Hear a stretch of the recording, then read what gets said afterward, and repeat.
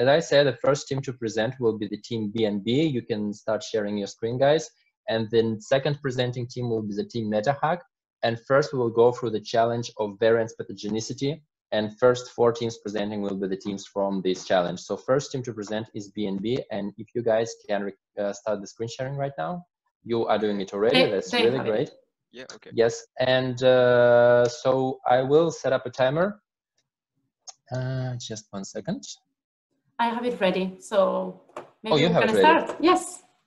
Okay, so guys, the floor is yours. Four minutes starting now. Okay. Uh, hi, everyone. So I represent the BNB team, uh, which is a team of three students in bioinformatics and biostatistics. Um, we have been working on a variant pathogenicity model, uh, prediction, sorry. So how we try to make a good prediction model. And I will present here what we have done to uh, attempt. And uh, first of all, we uh, try to understand the variables um, to understand their possible uh, impact on the prediction model and eventually remove some of the, uh, of the variable. And uh, secondly, we find that um, the distribution of missing values by variables is very high in a, some variable. So subsequently, it was necessary to manage uh, these missing values. And the first option uh, was removing all the variants that had at least uh, one, uh, one of missing value or more. But this approach is uh, considerably reducing the number of variants uh, available for the model. And we go ahead and for the second option, that was to replace the missing value of a variable with the mean for a, numerical variable or the most uh, frequent value uh, for categorical variable. And um, then it was done. So we um, we encoded the categori categorical variable uh, using label encoder from scikit-learn on Python. And uh, once uh, once the dataset had no missing values, we implemented the leave one group out cross validation method. So with the protein variable as a group. And uh, finally, we tested several classification model and sometime we uh, removed some variables to potentially get uh, a better prediction score and a, a better AUC uh, value. And I will just show you one uh, ROC curve. So uh, here you can see the best ROC curve we got. Um, the model present here was based on a quadratic discriminant analysis and it has been trained on all variable uh, except for the allele current variable which simply reflects the allelic frequency so we just remove this and um, for all the models we created we had uh, an AC value greater than 70% and a prediction score approximately equal to 90%. So we found that this was great, but uh, even if these models can look interesting, we should not forget that all our missing value uh, have been replaced and a better management of uh, missing values will be preferable. One minute left. Um, Okay. And in addition, more variables could potentially improve uh, the model and also more variants per protein could, poten- could potentially improve the models. Um, so here I come. Thank you for listening me. Thank you a lot. Now, Amelie, if you have a questions, please, the floor is yours. Thanks a lot. That's very nice. That looked like a really impressive performance. Can you, what do you think? Why does this model work so well and the others don't? Um, why this uh, model works well? Um, I don't know. Uh, it works well because we just use the train set um, and the validation set on benign and pathogenicity set. So is that great? Yeah, thanks. Thank you a lot. for your presentation. Now we are going to the next presenters. Uh, the next team presenting is the team MetaHack. So team BNB, please stop the screen share and team MetaHack, please start the screen share. And the next team to present will be the team Trekkers. So please prepare team Trekkers and now presenting team MetaHack. We can see your screen. Uh, are you guys ready to start?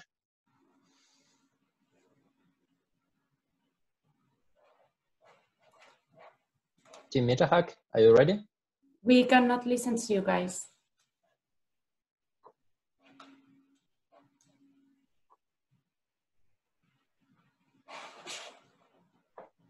Yes, can you listen to me now?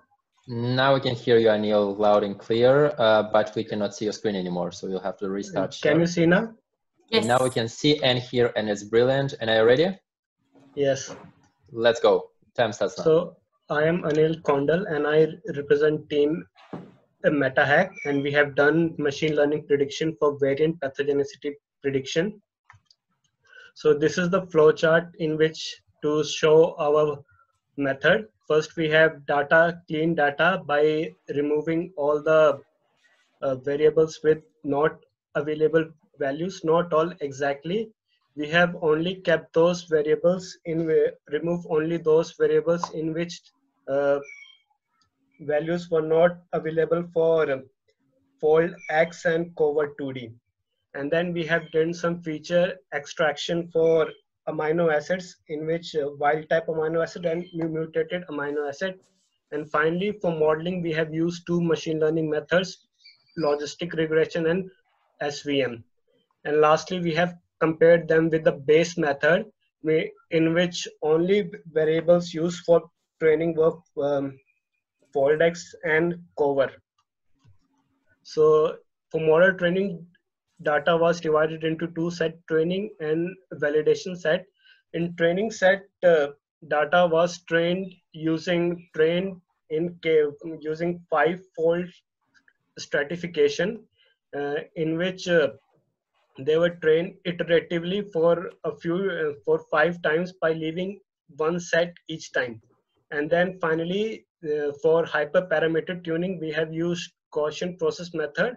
And after model selection we have test, tested it on a validation set for and and and while data exploration we observe that uh, if you observe the second column which represents covert 2D and the below row represent pathogenic and above represents benign, you, uh, you can observe that uh, for benign, the cover curves is like exponentially with starting from uh, left side and falling down, whereas in pathogenic, the opposite is true.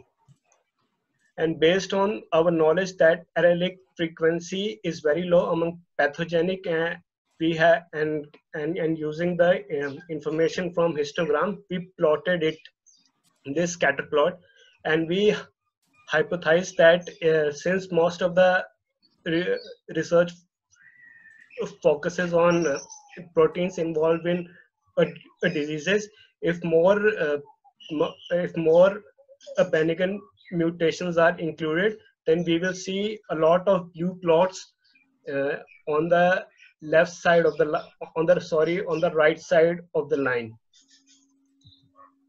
and for feature extraction we have used only six co columns which are uh, wild type amino acid fold-X and allele disease. Okay and we have done one so let me just show you the accuracy. This is the base accuracy in which and then custom accuracy for svc and logistic regression. As you can see, there has been some improvement in both the cases. And this is the ROC curve from SVC base method and SVC by using our own features. Similar, this is for logistic regression. Here, the our model performs better than again. And more, we observe that the, the, the data is actually very skewed there were actually 910 pathogenic rows and only 133 benign rows. So if more data is collected about benign variants, then it would help uh, our model training and a more robust metric for assessment is is required. Time, last sentence. Hmm? Time? You're done? Okay, yes, I'm done. Okay. Thank you so much for your presentation. Really cool. Uh, Amelie, now it's your turn. You would like to ask some questions? Thanks, very nice. I'm glad that you looked at the data in detail. And indeed, you're right that there is a big imbalance between pathogenic and benign. That's historical. It's not really something I could or anybody can easily do anything about. Have you considered maybe in your training or validation to introduce subsampling so that you could, you know, counteract this bias? Uh, we actually thought about it, but due to time constraint, I couldn't apply the result. I couldn't experiment it. That makes perfect sense. Thanks. Thank you. Thank you a lot. And we keep moving further. You can stop sharing your screen. Now the next team coming is a team trekkers. Uh, team trekkers presenting. Please prepare team modern synthesis. Modern synthesists. I'm sorry.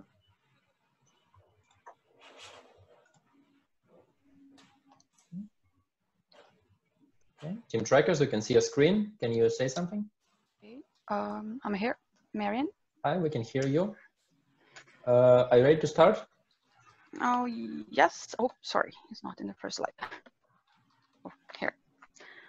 Uh, well, uh, my name is Marian. Uh, I represent a team from Brazil. Uh, we are bioinformaticians, uh, Brazilian informaticians. We are working on the challenge variant, variant pathogenicity uh, prediction. Our team is composed by Camila, Gregorio, me, Monique, and Selma.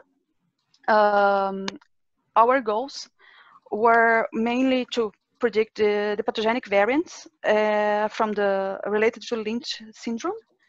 Uh, we had a, a, lot of difficulty with lack of structural data, a lot of NAs, uh, information on structural, structural energy data, and a lot of uh, unbalanced, unbalanced data uh, in our data, data set as uh, told by the other teams.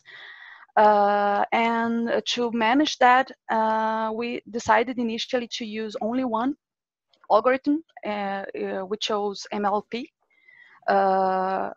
and then we kept all target classes, not only the pathogenic and, and the uh, benign ones, but all of them to, to evaluate the results. Uh, we used MATLAB to develop our uh, scripts and uh, we decided to use five-fold cross-validation in these uh, evaluations. Uh, I'll just discuss with the results with you the um, sorry, I'll discuss with you the, the, results. Then we performed in the data processing to solve the problem of NAs. We decided to use uh, MLP to predict the values, uh, the missing values. So we predicted them uh, using MLP.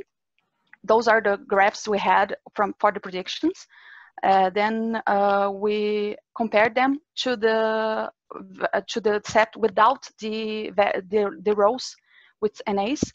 And we had some gain of performance uh, for the classes um, for benign and pathogen uh, classes, which were our targets, but we lost a little bit of performance in the one in the 10,000 values. Uh, but uh, we decided to move on with those uh, predicted values to manage the NAs and to be able to move on to the next analysis.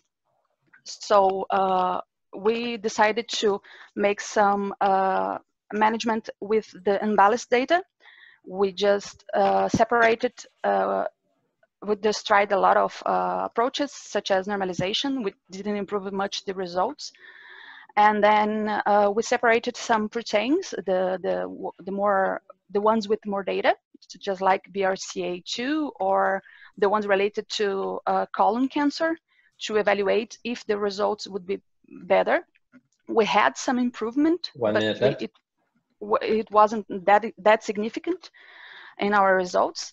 As we can see in the plots here, uh, we have um, loss of uh, predictions in a pathogenic class for BRA, BRCA and colon results, and uh, we finally are showing here just, uh, we decided to remove the common variant, it was just 26 lines from our data to just improve our accuracy and other results. But in the end of uh, it doesn't change a lot. Our, our accuracy was good, more than 90% with all the data set. And uh, we finally uh, showing just here the results. Uh, we have a good results for uh, recall also in the RTA, which may suggest uh, the prediction of false positives in, in the data set. So it may be caused due to the unbalanced data. We just uh, didn't banish the unbalanced data.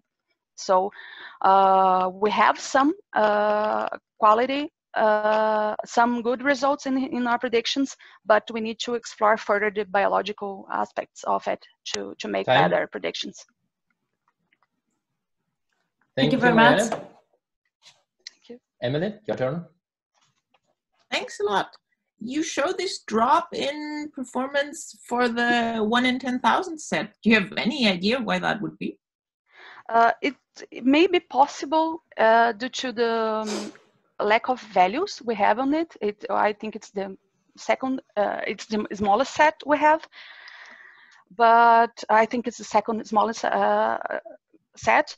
But uh, we believe that maybe the re the reason may be we don't have much of a pattern in this data because this one to ten thousand, I, as I understood, it's related to uh, some uh, general uh, some rare occasions in the and when they can predict this variant has some effect.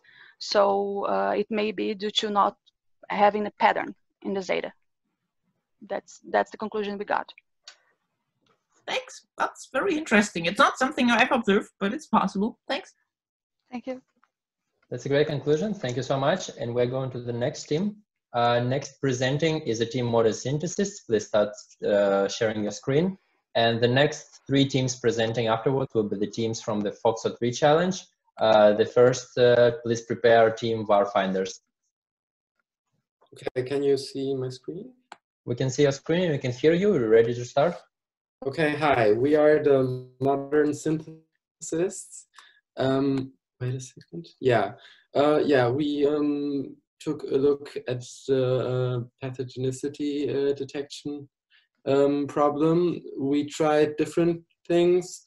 Mm, one time we tried um, SVMs, we tried linear regression, and but our final model builds on uh, a two-layer uh, neural network uh, which we coded with Keras.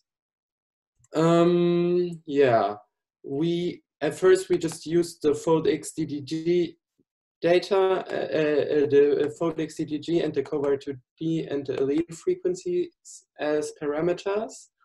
Uh, and later we added uh, the Grantham amino acid distances and BLOSUM62 scores for the uh, amino acid substitutions that were generated by the missense mutations in the data set. Um, but because um, of the missing values, we had to drop a lot of them out. And in the end, we only had like 1,700 or 1,800 roundabout left. Um, yeah, uh, one of one, uh, one of 10,000 uncommon variants um, um, classified variants were also used. We didn't include the gnomAD data because we couldn't really um, classify them as either pathogenic or non-pathogenic, and even after researching, we didn't really find information on that. Um, some missing FoldX DDG and cover 2D values were also generated randomly from the existing distribution of uh, of the data because we didn't really want to just just put random values um, in. Um, yeah, we, we tried doing it based on the um, distributions of the existing data. Yeah, um, in the end, uh, here you can see two uh, ROC curves and a, with the AUC values for two genes, one uh, where it worked uh, relatively good and one where it didn't work that great. Um, yeah. Uh, okay, yeah. Um, uh, future perspectives, like in general, more data is needed to build models with higher accuracy, accuracy and generalizability.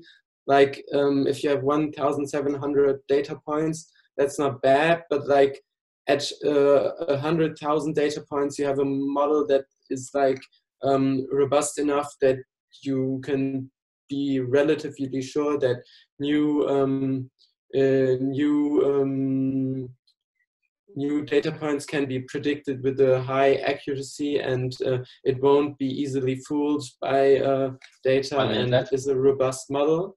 So uh, uh, improvements that we have uh, or that we could think of in general were enhancing the data set by uh, increasing the amount of data, uh, incorporating multiple methods together from an accurate prediction, which is also what um, uh, our mentor um, presented to us as an option in the beginning, and uh, partitioning the data set and training models independently based on different gene families because mm, in some genes it might be very important that the overall um, protein stability is um, um, is not impaired, but in other proteins it's maybe not that uh, important. Time. Or, yeah. If we can stop here, then Amelie, the floor is yours for the questions. Great, thanks so much. You showed performance for two different proteins and how it can really be rather, well, one great and one not so great, which is a very important observation. What do you think? Why is it so poor for ADSL? Um, I don't have the pathogenicity values uh, in mind right now, but we checked every time how many uh, uh, values uh, or what proportion is pathogenic and which is not. And um, our model tended to just always predict something is pathogenic because of the fact as um, um, the other compet competitors already pointed out that there are always more pathogenic values.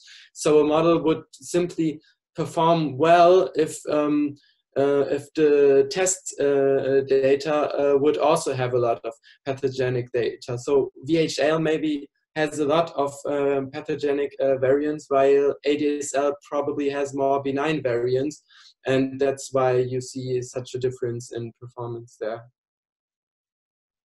That would certainly be a possibility. I can tell you that I've seen even when correcting for that, I still see the same problem, and I think it's that all the data we're currently using is just not informative for this particular protein. Yeah, but it's yeah. a very good point that you raised. Yeah. Cool. I think that Thanks. yeah. Great. I think that goes for a really good discussion. And now we're done uh, with your presentations. Next team presenting, please share your screen, team VarFinders. Please prepare team nocturnal animals.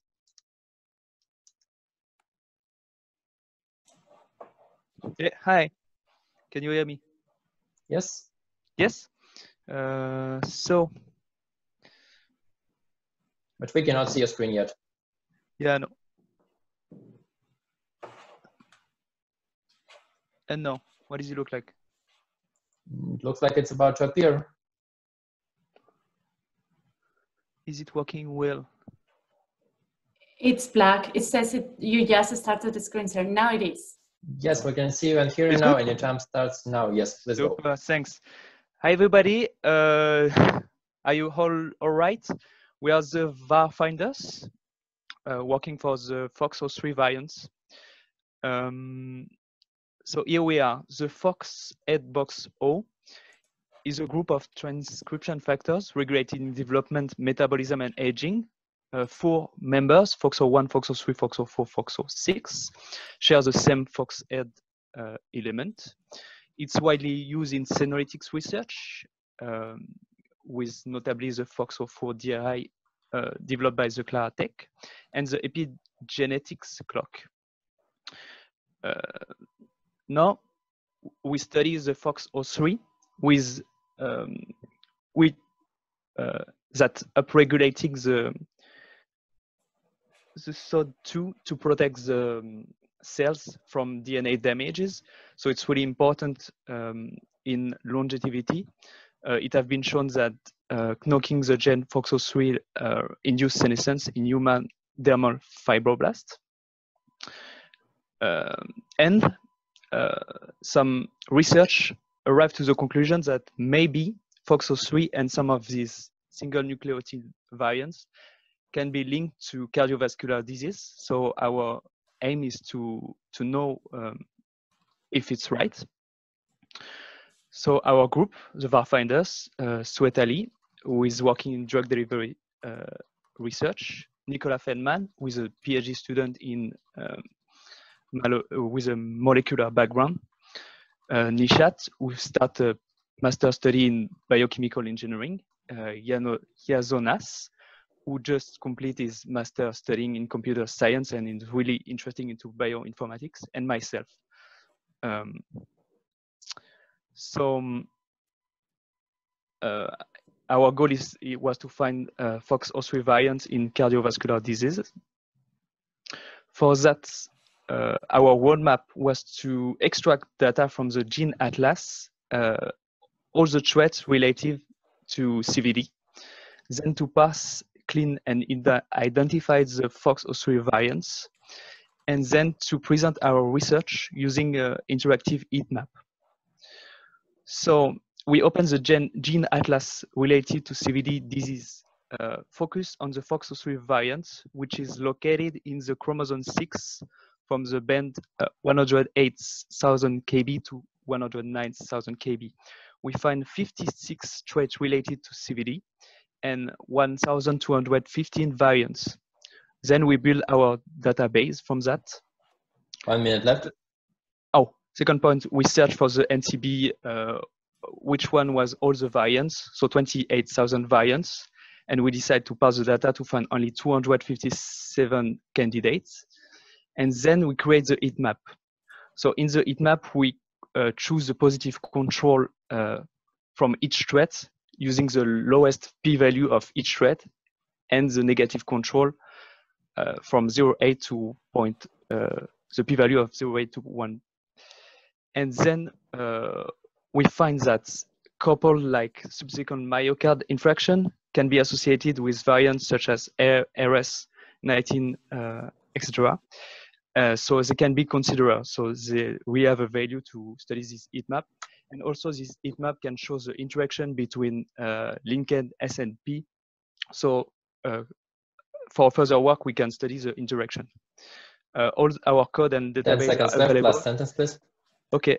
Uh, going further, uh, we can go further by studying other FOXO group member and other phenotypes and create Manhattan map that's it. Uh, thank you thank so much. Thank you very much. Uh, Victor, the floor is yours for a question. Thank you very much, Jules, for the presentation, and thanks to VAR-finders for that amazing work. That was fantastic. Uh, I do have one quick question, though. Yeah. Um, do you think that could could you come up with a hypothesis? Why do you think that there have been um, studies showing FOXO associated with the protection of cardiovascular disease, but you guys couldn't find any um, relationship with the induction or the susceptibility of cardiovascular disease?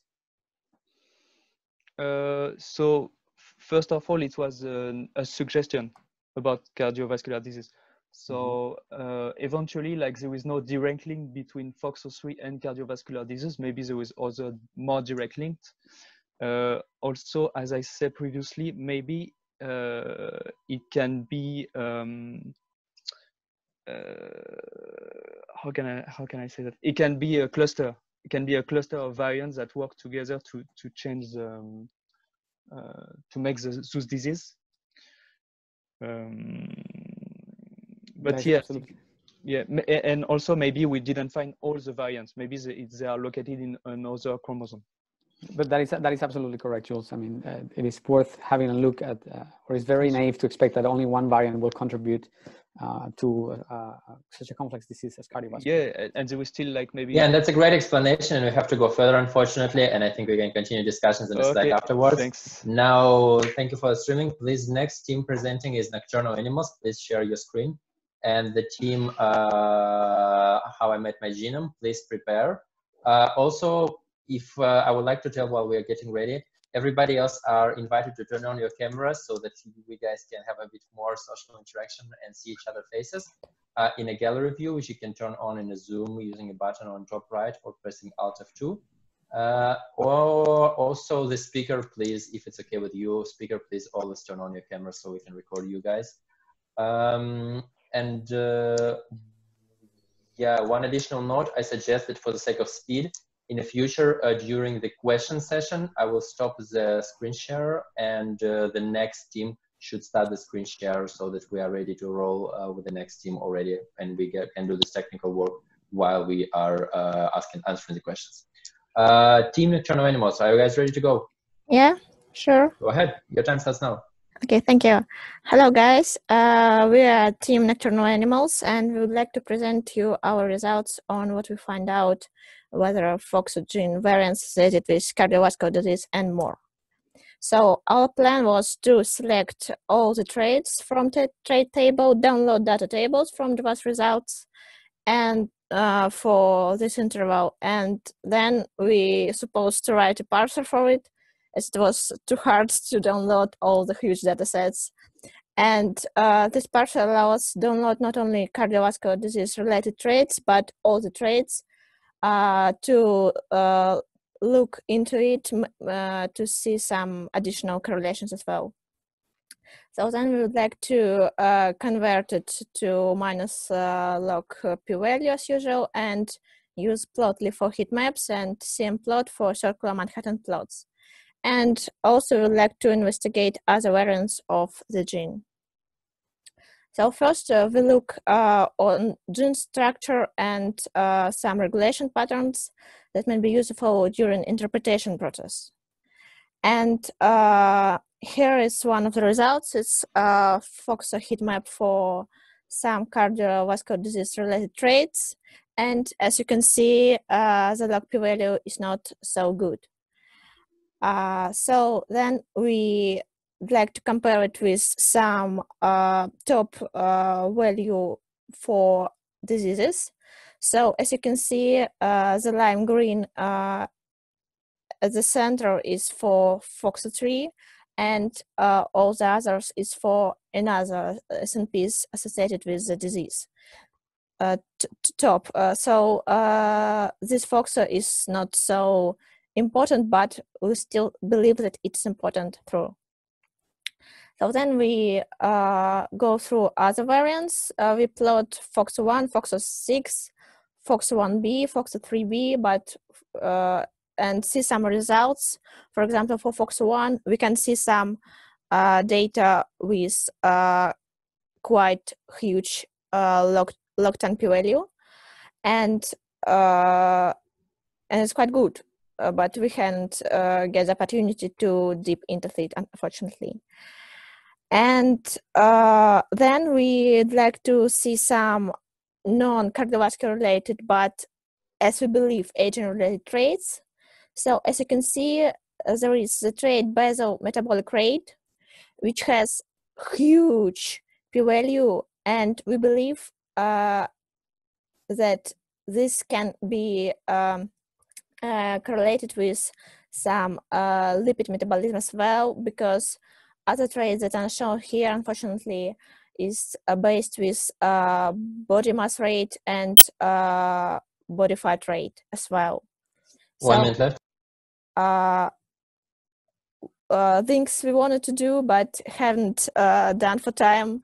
We didn't have so much sleep. unfortunately, we don't do interpretation of our SNPs uh, we download some regulatory elements and would like to annotate but don't have time. And that idea was to study uh, transcription factor binding places and whether mutation at these sites can be also uh, important for uh, diseases. So if I have some time, I can try to. Um, you have 10 seconds, you can say one more sentence. Uh, 10 seconds, you can say one more sentence. Okay. Uh, uh, I just wanted to uh, to to share with you um, some interactive plots if I have some time. I think we'll do it uh, unfortunately okay. in, like, out of time like, because like we're out of time. Uh, sorry, it's, it's just like that. You can see the log p value and the trait and the variance, so it can be useful to just look into. You can zoom it and so on. So I just, so nice. just like, uh, Victor, you have time for a very short question. Yes, very short. First, thank you very much for that impressive work. Uh, that was very, very good, Nocturnal Animals. Uh, the one question that I have is, Um, do you think that these variants that you saw associated with metabolic rate, could they all be uh, related um, in one way or another? Again, this is just speculation. Uh, I think uh, they can because uh, also we see some correlations, as I said, with some uh, fat metabolism, with some uh, body mass as well. So uh, it, it's hard to interpret it right now, but in general, it can plot some picture how it can mm, be work on aging in general, not on cardiovascular disease particular, but in general on aging. Wonderful. Thank you very much for the work. Great explanation. Uh, thank, thank you. you. so much. Uh, and now we go on uh, further down the list. The next team presenting how I met my genome, please share your screen.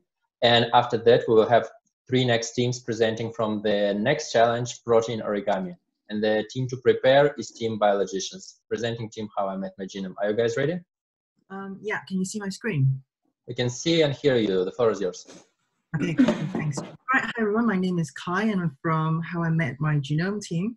Well, um, so FOXO3 variants is generally recognized as master gene aging. Um, they may have something to do with the cardiovascular disease, so we're not, we're not so sure yet. So the is to identify the FOXO3 variants uh, and compare them with other variants. Right. Okay, but um, so a standard way of representing uh, GWAS is by using a Manhattan plot. So you can see the x-axis is the chromosome numbers and the y-axis um, is the transform p-values. So if, um, so the higher the value um, of on the y-axis a genetic variant is, um, the more statistically um, associated that variant is with a trait, and in this case, is the acute myocardial infarction. Um, so for our challenge, um, we extracted GeoSummary66 data from the Gene Atlas database, and we organized our variants in three ways, in three conditions. The first one, we call it the FOXO3 condition, where we selected variants um, for the three cardiovascular disease traits, which are acute myocardial infarction, angina pectoris, and also atherosclerosis. Um, then we have the positive controls, which are the top variants um, for each of these three traits, and also the negative controls, which are the ATF2 variants. Um, the ATF2 is a gene, a housekeeping gene in chromosome 2 region. Similarly for these three traits. Um, so firstly, we try to visualize the data in a more kind of traditional Manhattan plot way, where the axis is the chromosomes and the y-axis is the negative, um, the transform p-values. And you can see that FOXO3 variants are in a um, sixth chromosome, negative control in the second chromosome. Um, seems like they're not behaving very differently um, with each other, whereas the positive control variants are all kind of above the significance threshold. And this is kind of like enlarged version comparing between FOXO3 and negative control. And we see the similar patterns for acute myocardial infarction, atherosclerosis, and also for angina pectoris. Um, and then we thought, why not we try to change the x-axis to something else, maybe the conditions. Um, so this is just another way of representing it um, with box plot and um, the distribution of p-values. And you can see, again, um, the positive controls and the FOXO3 variants are not behaving very differently. Um, but we don't want to just stop there. so we figure a way to, to plot the Manhattan plot in a 3D way. Um, and we were kind of using codes from a tool called BigTalk and we tried to sort of modify it. So here is a video that shows um, how it's like. So, in, so you can see on the walls, these are the conditions. Um, and then you can see there are like dots hanging in the air. One minute. As if at least you walk into a room of Manhattan plot. Um, and most of the variants that are hanging in the air are those coming from the positive controls because they're really significant. Whereas those on the floor, as you can see, there are some dots in the floor. They are all the variants coming from the FOXO3 condition and also the um, negative control. Um, I'll leave this video going um, while we talk about conclusions. So um, we think that there isn't very much association between um, the FOXO3 variants with the three cardiovascular disease traits. So for future direction, maybe we're adding or um, look into more traits and also of course to um, make this visualization much better. Thank you. Thank you. You are on time. Is brilliant. Victor, you have time for a question. Hi, thank you very much for the work and thank you very much for the work to the team. Uh, I think this, I applaud the effort that you guys have made uh, creating those uh, different forms of visualization and I'm very, very intrigued about this new one, this last one. Do you see any other applications uh, for this potential of visualization for other biological relevant data? Um, yeah, I guess um, this it, it, adds in a more like one more dimension, which is the minor allele frequency on the third axis. So um, um, when we're discussing about you know when about this yesterday, you mentioned about common variants and rare variants. So maybe this axis can can act kind of like a check versus see the allele frequency. Very nice. Yeah. Thank you a lot. Uh, we're going further now. Uh, the next team presenting is Team Biologicians. Please prepare team if ubiquitin break. Uh, and uh, speakers, please remember to turn on your cameras on. And again, everybody else, you're also welcome to turn your cameras on. We can see you in a gallery view. And it's always nice to see uh, more uh, happy and excited faces. team, the Biologicians, we can see your screen. can you say something? Hello, um, I think you're seeing the wrong screen. One second we used to see the presentation. Right now I see the presentation called Team Biologicians, Protein Origami, and the Donates. Is that the screen you want us okay. to see? Yes, so uh, we are a team of four bioinformaticians based in Copenhagen, and we are moving now on to uh, a new challenge, uh, the Protein Structure Prediction Challenge. Uh, it's been called the Holy Grail of Bioinformatics, so classical problem of uh, predicting the 3D structure from a, a one-dimensional amino acid sequence of a protein and um, we are um, approaching this with uh, yeah based on the open protein data um, uh, GitHub, and our uh, first approach was to uh, incorporate half sphere exposure as an, uh, a new measure, well as an additional measure for um, for training, and um, so the half sphere exposure is the number of uh, C alpha atoms, so backbone C atoms that are in the half sphere um, surrounding a given atom, C atom, and um, we think that well we know that there uh, is an, um, a limited amount of um, or an expected amount of C atoms that can be in this sphere. So uh, we use this as a, a measure between the uh, to, compute a, an additional um, difference measure between the predicted um, and the tr true structure. And so um, that is the first approach. The other approach is to, instead of um, training with that on uh, doing the training of the machine learning algorithm, uh, to basically use this measure as a regularization term so that we uh, avoid overfitting.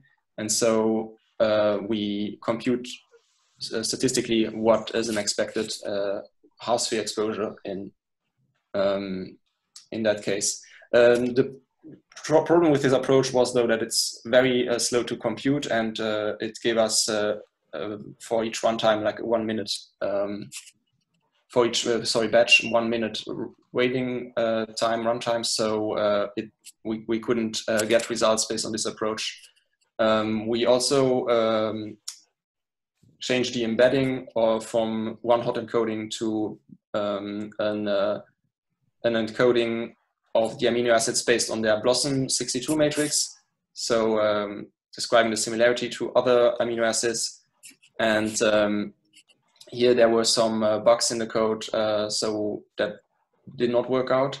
So we went to um, go to a, a, third approach, which is to change the model. And uh, here several things have been tr tried in uh, um, Open Protein.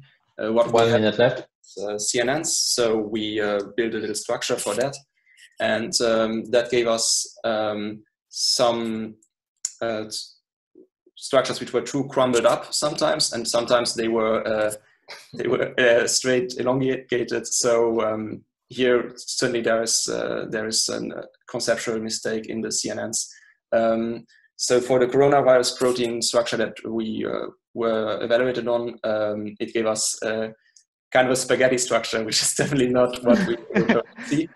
So um, we learned here that um, we have to reorganize better for our next uh, project and uh, work towards a minimal working product before uh, throwing all these fancy ideas into the mix and uh, having to try to make everything work because that didn't work out.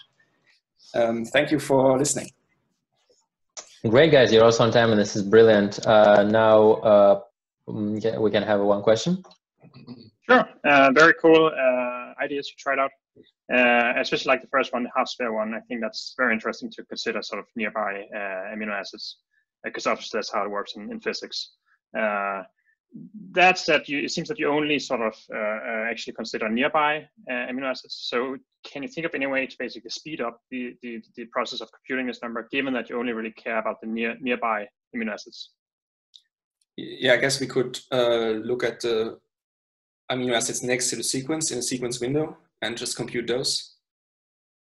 Yeah, but then we would lose a lot of information that like actually makes that attractive to use in first place because um, yeah, that would give us the possibility to like select um, or like see amino acids are also very far away, but from the steric hair uh, very close um, because proteins can fold and like sometimes the end of the sequence can be just like in the 3D space very close to beginning of a sequence, but that would from the like just the sequence, it would be not very close.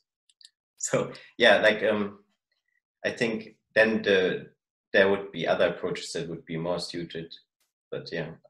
Cool. Yeah, that makes sense.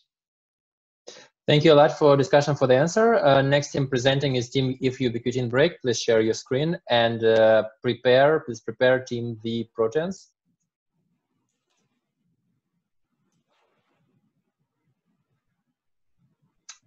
we can see a screen with a PDF file open, and I think we can hear a mouse click. So I guess we can hear you. Can you say something? Uh, okay. Do you hear me?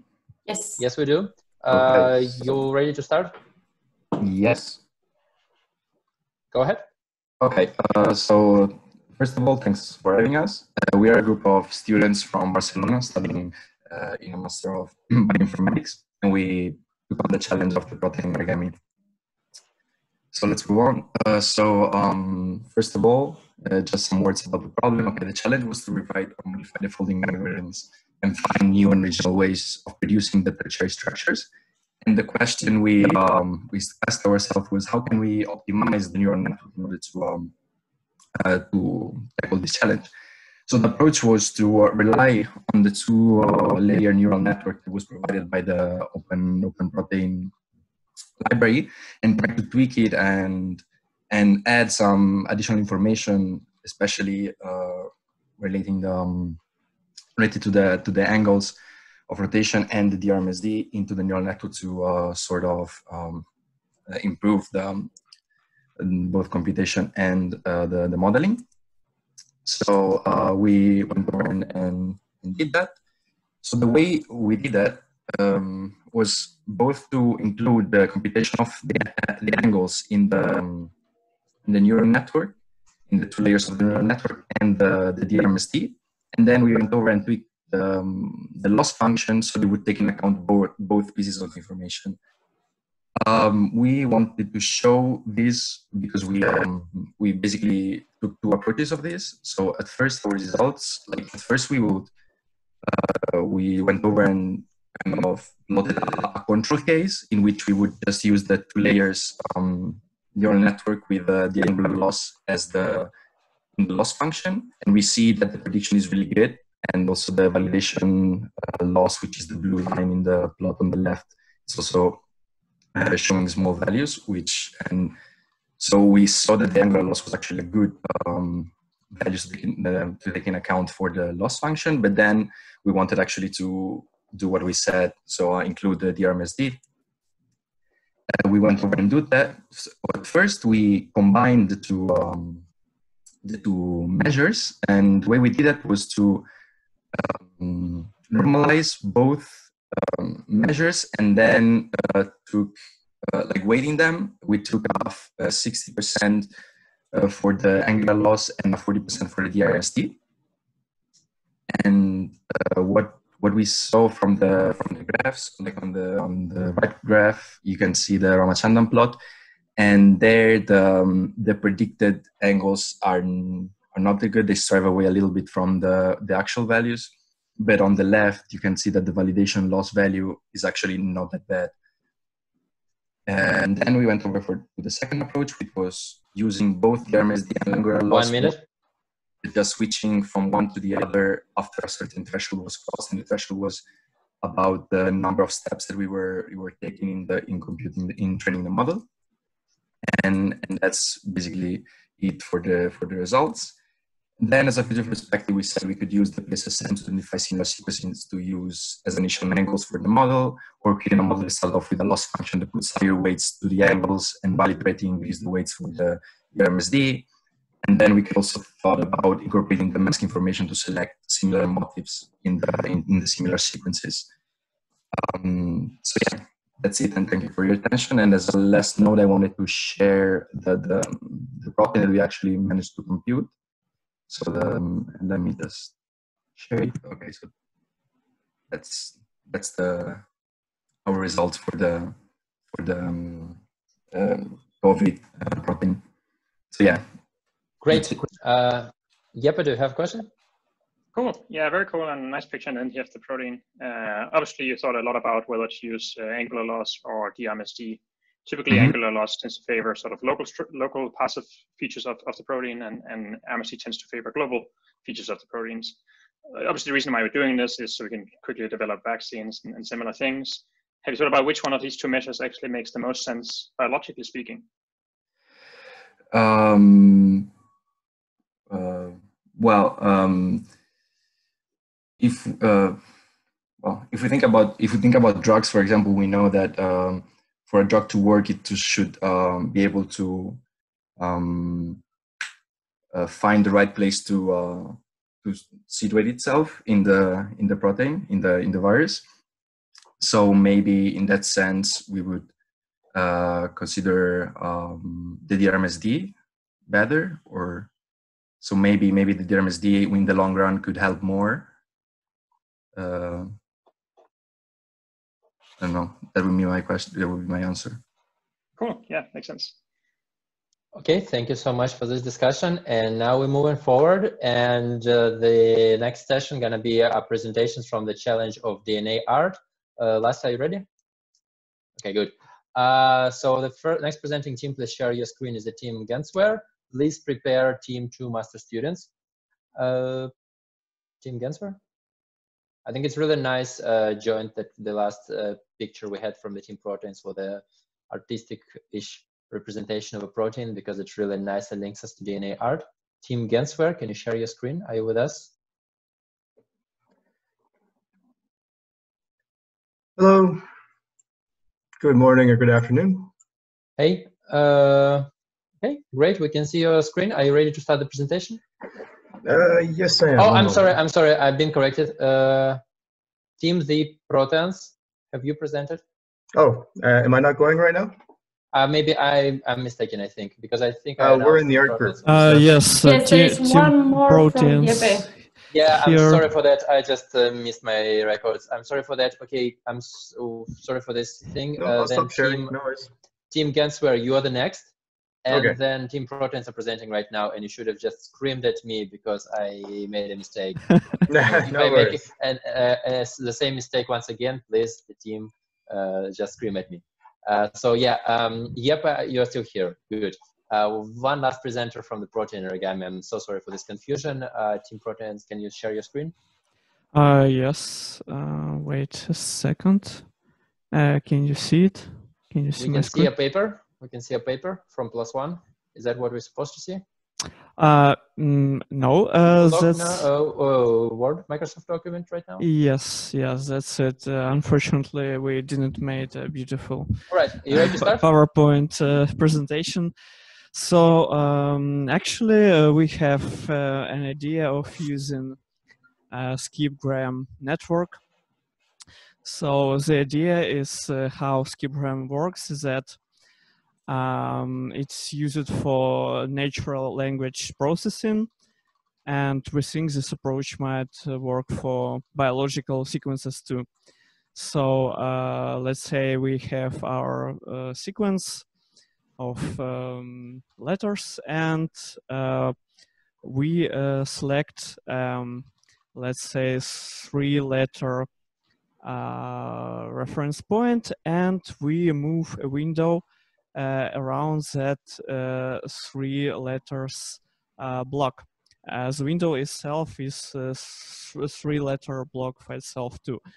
And this network can find relationship uh, uh, between those uh, three grams.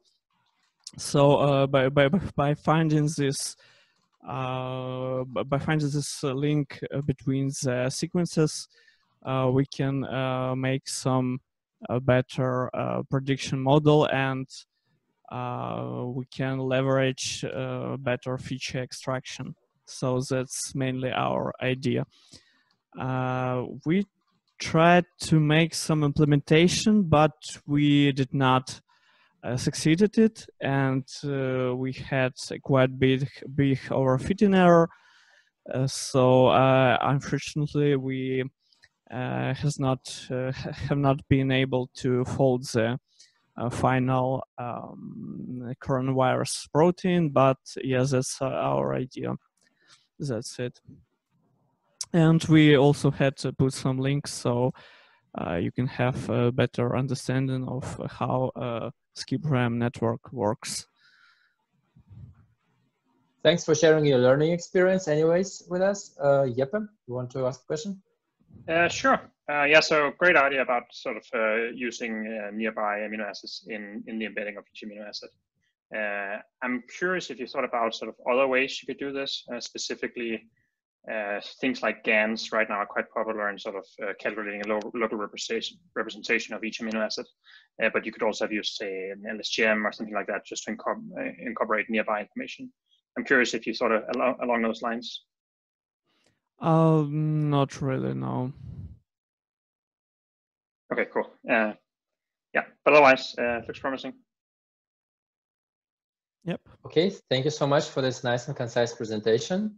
Thank you again, Teams Proteins and Team Genswer for handling this uh, messy situation. And now this time for real, Team Genswer is presenting. We are moving to the DNA art and Lasse, for the second time, I'm inviting you uh, to join. Now we can see your presentation, Team Genswer. Are you ready to start?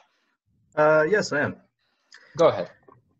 Hi, uh, so good morning, good afternoon, everybody. Uh, we are Team Genswer, uh, made up of Jonathan, Rob, Winfield, Winston, and uh, Frederick. So uh, uh, the title of our talk is Coat of Arms Art Created by SNP Seeded uh, Generative Adversarial Network. Uh, the whole goal of this was to essentially use um, genomic data in order to help seed a generative adversarial network to create a piece of art. Now, for our art, we decided that we would try uh, linking uh, genomics, uh, which of course uh, inheritance, to something like uh, coat of arms or uh, heraldry. So in order to use a generative adversarial network, we started off with a DNA seed from a 23andMe genotype um, file. and from that, we essentially use an algorithm to create a singular numeric seed to feed into a generator. Now, for the way that a GAN works is you have a real image library and a generator. Uh, they both pass images to a discriminator. Uh, the discriminator will then attempt to figure out which one is true and which one is essentially a generated one.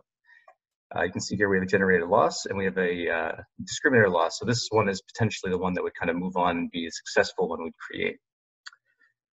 Uh, now we have a website you can go to uh, so our goal was that we wanted to have a website you can move to, throw some 23andMe data into it uh, based on uh, the SNP genotypes, and generate a completely unique coat of arms based on the seed created from that genotype, and then running it through the GAN.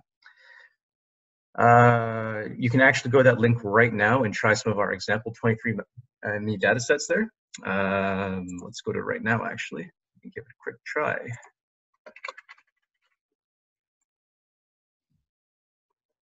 So drum roll.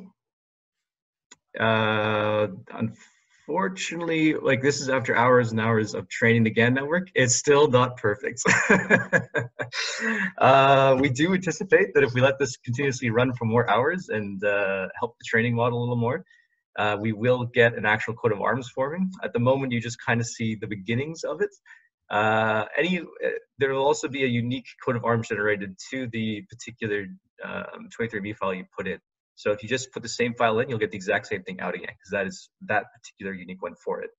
Uh, we also created uh, a little bit of a poem here um, based upon the exact same seed. So that will be unique to that 23andMe data as well. Uh, let's go back to the presentation then.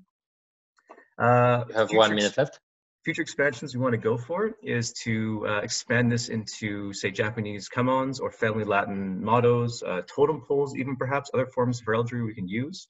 Um, we'd also like to utilize the 23andMe uh, ethnic pieces of SNPs to generate coat of arms. Uh, it's essentially based on the composition of your genetics.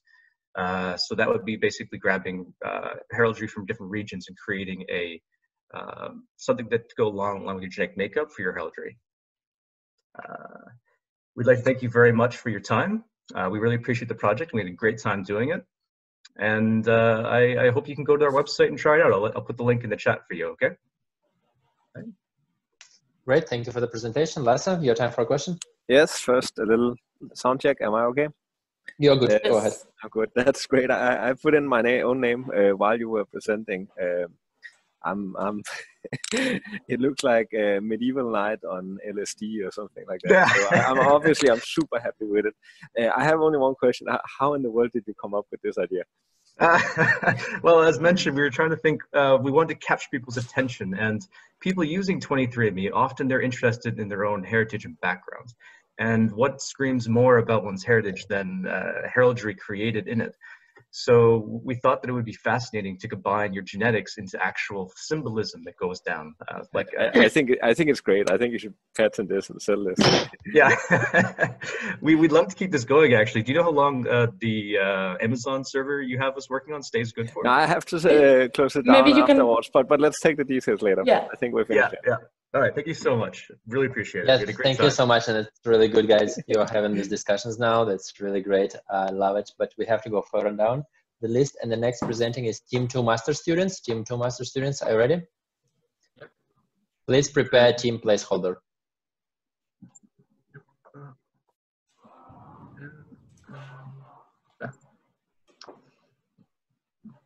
Yeah.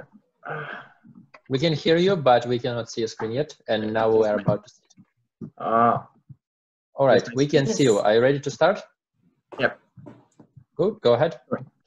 So uh, I'm uh, Alexandre, uh, Alexandre Bonhomme from uh, Team uh, Two Master Students, uh, which is from of Morgan Choquet and me.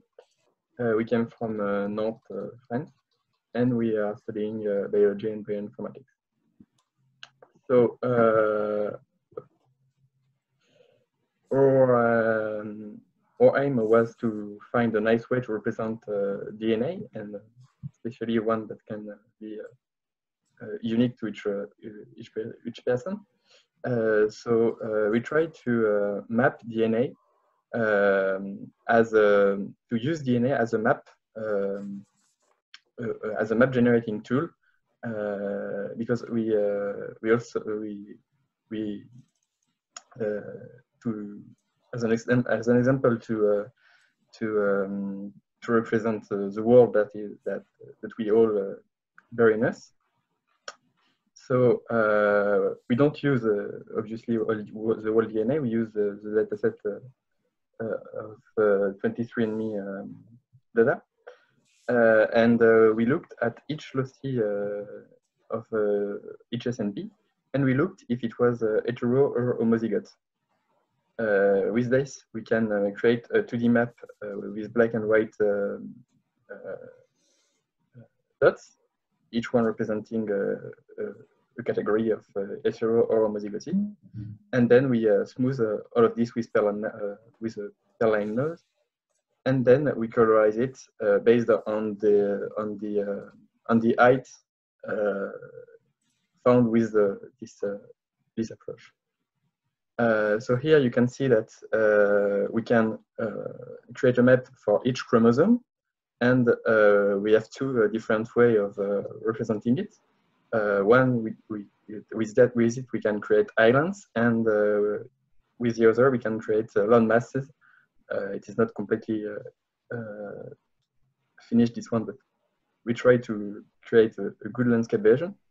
Uh, and you can see that it is unique for each person, obviously, because we, don't have uh, the same pattern of uh, um, hetero or homozygosy for each uh, homology. Uh, so what do we want to, to do to improve it? Uh, first of all, we want to create a, a 3D map based on this uh, with Unity. Create a giant mass of with all, all, all chromosomes in one map. Generate a closed random smooth shapes from or, or, noise. So to create maybe like a circle or a star that has uh, many um, uh,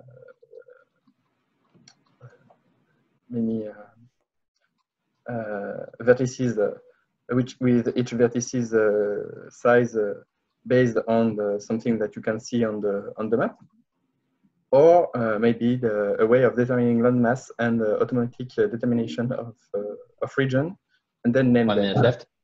So you can we would we wanted to have uh, some island named uh, randomly based off uh, some other data that we can find on the DNA or something something else. So um, I guess that's it.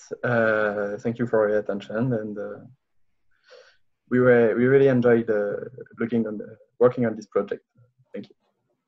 Well, thank you. It looks very good. I have one question: Is uh, have you considered if you can implement such that you can connect these maps to um, to strategy games? I'm thinking civilization Uh, and games like that. I think that could be very useful to have personalized genetic maps that you can play on. Uh, at first, it came from the, the fact that you, you say that nobody wanted to make uh, uh, Uh, Minecraft uh, maps from uh, from this data. But yeah, the, the, the principal idea of this was uh, uh the, last, the last one that we that we that we told, uh, really the naming of regions, and then maybe you can play with it along. but we did not have time to, to implement that one. But I yes, think it's it was, I think it's a great idea. Thank you. Yeah, thank you. Thank you so much for this Mind Minecraft uh, presentation. And now we're going further down the list. Uh, and next team presenting is a team placeholder. Please start sharing your screen. Please prepare team genome, genome gnomes. Yes. Hi. Uh, Hi, Teodoro. We can see your screen and hear you. yes. Let me just make this small. Okay. So. You ready to start? Uh, yes. Go. So we are a team uh, placeholder, and uh, we are uh, formed from Nudapong and myself, and we are two master students at Copenhagen University in uh, bioinformatics. Uh, so the goal of this challenge was uh, to use a GAN architecture to produce a personalized picture based on a person's DNA sequence, and more specifically, their SNPs. So it's important to mention that because of this, we had two steps, basically. The first one was encoding the DNA from one person, and the second one was to also get some real pictures uh, to train the GAN. So the DNA encoding, what we thought of was uh, using uh, the counts of each uh, of each type of SNP of SNP so, uh, for example, for chromosome 1, there were five uh, AA SNPs. Um, the GAN architecture, we used TensorFlow and we created, uh, we used their uh, original deep convolutional GAN uh, to which uh, we put the DNA encoding into the generator to create a, a fake image we trained with fake and real pictures, the discriminator using the real abstract pictures. And uh, then we calculated a loss that was between the correctly labeled fake pixels and the fake images similar to the real one. Um, and this is the results that we obtain. Uh, these three uh, are from three different people. And even though it's not the traditional abstract uh, picture, we think that it could make at least a cool uh, screen wallpaper for your phone.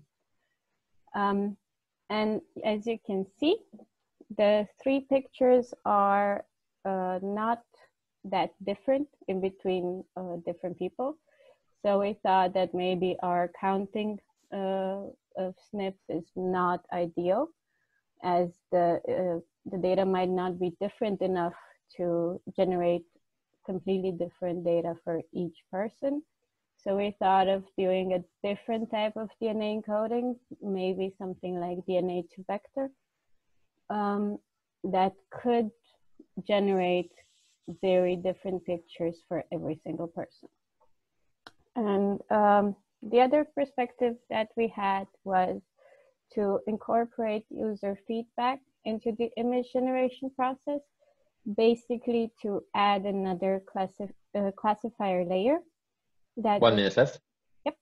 That would fine tune our GAN by forcing it to create a certain type of image that is liked by the user. And that would be done by basically adding another type of loss. And this is it from us.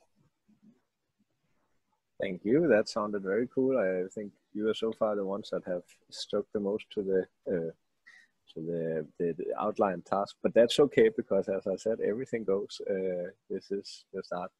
Um, as for questions, um, I wanted to ask, like, is this easily implementable on the server, or did you run it local? Because if I'm interested to use it uh, further.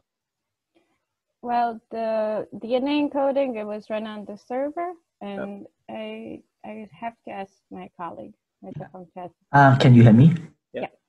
Uh, the also the GAN the GAN also was implemented to be able to run on the command line server. So yes, I put the. It's just like you just run it on the command line. You you I I, I write the code in the way that you can just use the command line to run everything. Okay, thank you. That's very interesting, and thank you both. Thank you so much for the presentation. And then we're going uh, further down the list. The next team presenting is the team Genome Gnomes. Please share your screen. Please get ready for the, uh, please prepare team Deep DNA Art.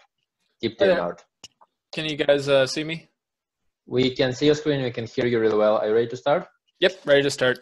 Um, hey there, my name is uh, Brooks Henry. I'm representing Team Genome Gnomes made up of myself and Drew. Uh, we're master's students in cancer biology at the German Cancer Research Center in partnership with Heidelberg University. Um, so I'll skip I'll skip over this uh, slide about SNPs. I think everybody here is familiar with that. Um, so in our approach, we drew inspiration um, in two kind of opposite ends of the art spectrum. Our first inspiration is this contemporary artist named Damien Hirst, um, who's really famous for these kind of massive dot paintings that are composed of hundreds of thousands of dots. Um, but we also drew inspiration from the artistic movement known as pointillism, which is uh, composing images using tons of tiny little dots of solid colors. Um, so with that in mind, um, and working with SNP data from 23andMe, uh, we took the raw SNP data files um, and then parsed them and concatenated them together um, into an array.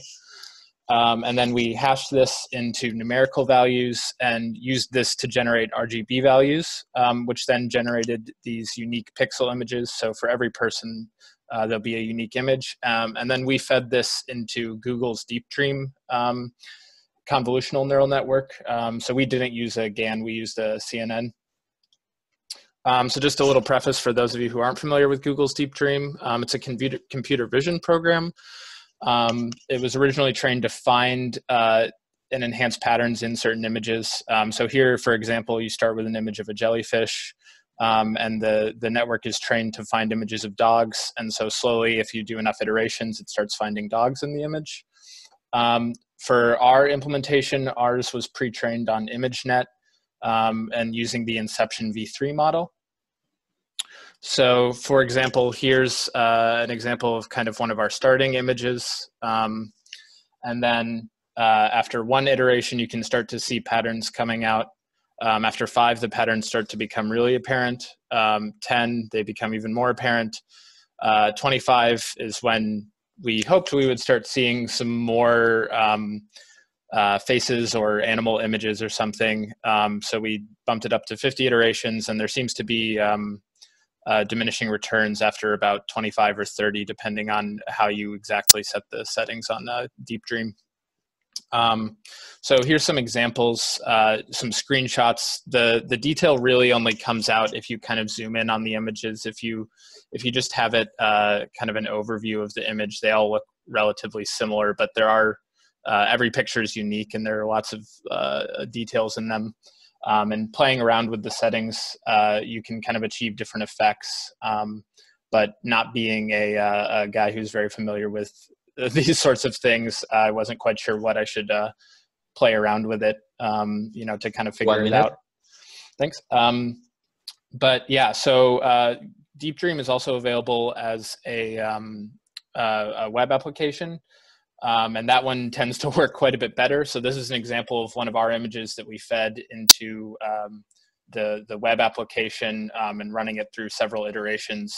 Um, and you start to see faces come out. And I, I, think this really encapsulates what we were trying to go for um, with, you know, turning your, this SNP data that's unique to you into the whole picture of a whole person. Um, yeah, but that is, uh, that is, that is my presentation. Uh, thank you guys you very much. That was a very interesting uh, solution. I have one question. How, how can how do you think um, it can go from a blue image of a jellyfish to something really showing dogs, but not from random colors? What, what's can you speculate yeah. on that? So I, I suspect, um, and again, I'm not super familiar with this stuff, but I, I suspect that uh, the images actually need to be a bit more complex in a certain sense for for Deep Dream to like set seeds to to start beginning to find patterns. Um, when you have a, an image that looks like just lots of colored dots, I think the that the program really struggles to derive image like you know faces and stuff out of that right away. Um, it takes mm. quite a few iterations, mm. um, but I'm I'm not sure. Thank you anyway. Very nice presentation. Thanks. Thank you, a lot for your presentation, and thank you for staying on time. Uh, you can close your sharing now. And Team Deep DNR, please start sharing your screen. And the next team preparing is Team Gene Mutant Ninja Taxis. Hey there. Can you see my screen? We can see your screen. We can hear you. Are you ready to go? Yes, perfect. Okay, good. We are Team DNA Art, and um, we want to make deep. Uh, we want to make art with deep neural networks. Um, our team consists of Simone, myself, Valentine, uh, and Christina, and we are spread out over Italy, Copenhagen, uh, as well as Canada. Um, so let's dive into it. So we humans, we are fascinated by a lot of things and we like to look at pretty stuff.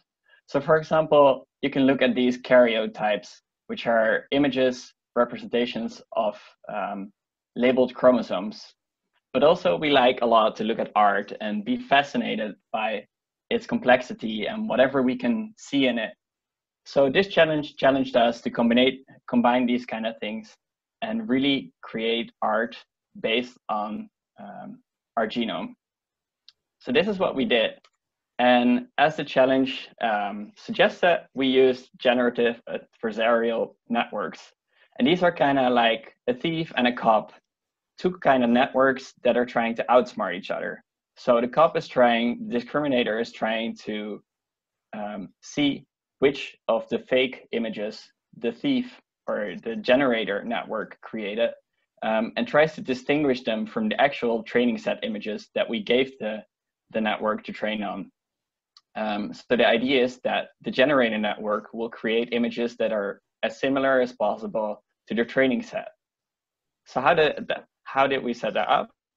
Well, we gave it a training set with images from landscapes from WikiArt, about 3,000, um, for the generator network um, to kind of take inspiration from. And this random noise that the network takes as an input, we would use DNA data for that um, to generate these images, the fake images, which we're interested in um, for the users uh, to actually create art out of their DNA. So what do we unravel from these DNA sequences? Well, we're interested in these SNPs. the single positions that have mutations. So we looked into the raw files that we were given, and we just we um, tried to figure out which of these locations are heterozygous. So if you have this chromosome pair, for which of the pairs do the chromosomes differ in these single locations in the in the base pair they have? So these would mark with a one uh, for about 10,000 SNP positions per chromosome for each of the chromosomes. And then we would consolidate consolidate this because this is very sparse. Only about 5% of all these SNP positions that were measured actually contained heterozygous um, bases. So taking 25 together would result in one uh, binary. Um, and with this, we would have 400 binaries per chromosome, which would then feed into the generator network to use as a starting point to create these images of.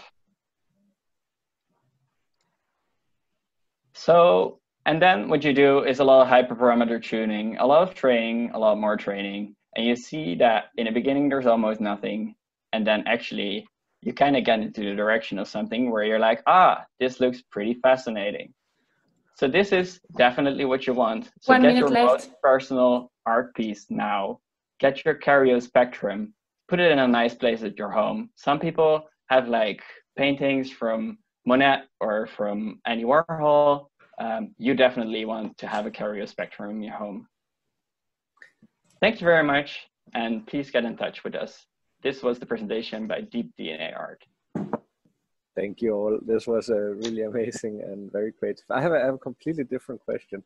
Uh, are you guys aware that uh, Donald Trump is tweeting about your project uh, personally? It's something I found uh, online under the hashtag. what?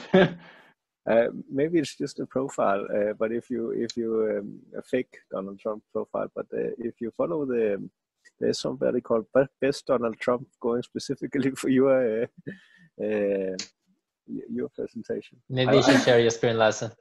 uh, no, I, I will put it in the channel. I was, I was just, I was really confused because uh, uh, if if this was something about it, uh, but uh, anyway, I loved your presentation. It, it will not detract from it that Donald Trump is uh, is tweeting about it. It will also not, it will also not gain for it. nice. But we had a lot of fun. Thanks for posing I- us that this was the challenge and helping us important out. Okay, that's some fun and unexpected publicity we're getting there. Uh, so we'll keep going with our schedule, and the next team presenting is Gene Age Mutant Ninja Taxis. Uh, can you guys start sharing your screen? And I believe I Oh have wait, run out. wait! Sorry for interrupting. Am I? Maybe I'm. I I was too fast. I think this Don't is need the to interrupt. I, I've got this. You got this. Thanks. I shut up. Okay. So, hi everyone. So uh, can I just before we continue with your presentation, I think we are done with all the teams. Is there anybody else who is on a team who hasn't presented and think that I forgot them?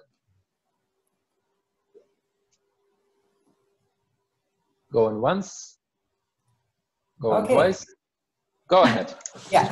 So, hi, we are from the Gene Mutant Ninja Taxis team, and we're very, very happy to unveil our secret project, which somehow got spoiled in just a few moments ago.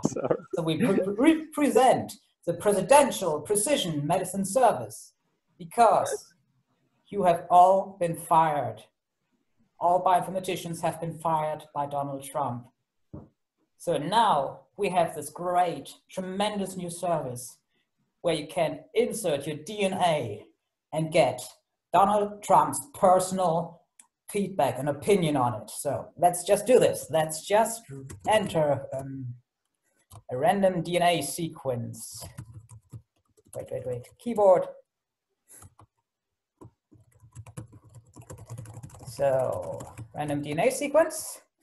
And let's see what Donald Trump has to say about it. Oh, here's a tweet.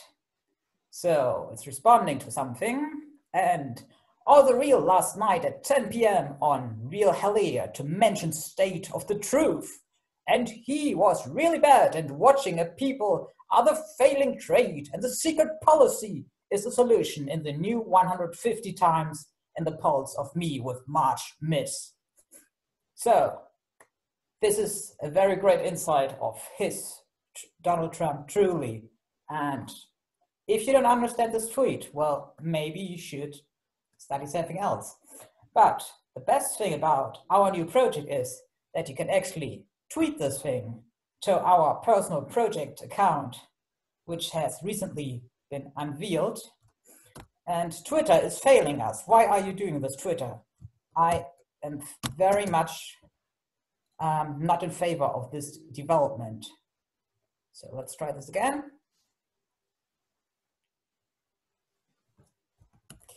Okay, we still have a backup plan. Backup DNA goes here. And now I know I have some H's in there, but Trump can also deal with H's. So retweet. Okay, Twitter. I am going to fire the CEO of Twitter because he's not tweeting our stuff. But anyway, what we have here is the fulfillment of the dream of every bioinformatician, a neural network that is trained with the statements from the, one of the most prominent minds of our time to make sense of your DNA. So if you want to use the service, you can use this um, QR code or use this URL. I will give you five seconds to just visit the website until I proceed with the presentation. And while we have a pause, I say that you have one minute left. Okay, so how did we actually accomplish this great feat? So we were setting out to start with GANs to generate Trump tweets. The problem is that GANs are not that well suited for uh, generating text because GANs produce continuous values, whereas text is discrete values. So eventually we found a network provided by uh, Karpathy called CharRNN on GitHub. And this network was originally designed to produce Shakespeare quotes based on original Shakespeare data. Um, however, our project, of course, takes DNA and produces Trump quotes. And you see, we still get realistic Trump quotes out of your DNA. Our data sources were from Wikiquote, from Twitter, and from a CNN article about Donald Trump's wildest lines of 2019. And we have data from basically all of Trump's life until today. 10 seconds left. Okay, so what are the future perspectives? If Trump gets reelected, then we will train the model with more data to make it even greater. So thank you very much, my fellow Americans. Read my tweets.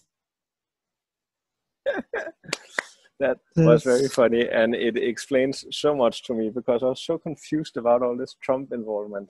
Um, I, I, could also see in the servers that there was one of them that had folders called trump but i didn't know who took what server.